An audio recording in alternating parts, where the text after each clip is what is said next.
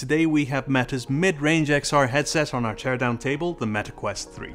It looks like there's a lot of screws in there, and I'm guessing that big old black rectangle in the middle is our battery. Once open, I have a series of camera and sensor cables snaking up to the main board.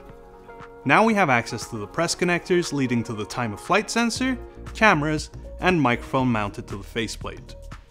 With the faceplate out of the way, I can proceed to remove the heatsink bracket and the fan that's helping wick the heat away from the headset. There's various press connectors and coax cables to remove and a few screws holding the mainboard in place.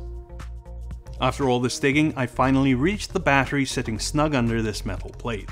It's taken me 3 fix mats, a single tray of plastic, and very careful organizing of about 50 screws to get this far. I'm glad to see that the battery is replaceable, but my word, it's as much of a pain to get to as the Quest 2's battery.